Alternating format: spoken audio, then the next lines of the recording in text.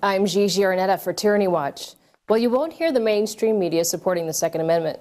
In fact, they say that guns are bad. You may have heard about the NFL not allowing the Daniel Defense rifle commercial. So I've chosen the most effective tool for the job.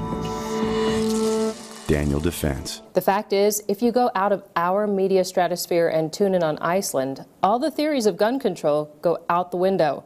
On Monday, for the first time in the nation's history, the Iceland police fired a shot at a citizen during an operation. Most cops don't even carry guns.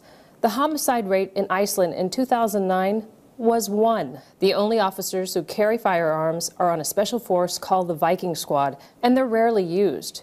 And out of 325,000 people, 90,000 are registered gun owners. Crimes in Iceland don't usually involve guns. There's not a huge division in economic classes in Iceland.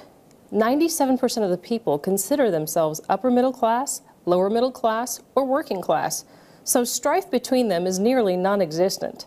The other thing you won't hear from our mainstream media is that people in Iceland demanded their country back. They took their country back from the government and they did it peacefully. After unscrupulous bankers bankrupted Iceland's banks in 2008, the citizens took the streets by the thousands, banging pots and pans in what is known as the Pots and Pans Revolution, which led to the arrest of the bankers, and Icelandic citizens rejected any measures of taxation to bail the bankers out. The citizens demanded the government resign, while an assembly is elected to rewrite a new constitution. 25 citizens with no political affiliation were chosen, and the Constitutional Assembly started in February of 2011. So why is our mainstream media keeping this story out of the news?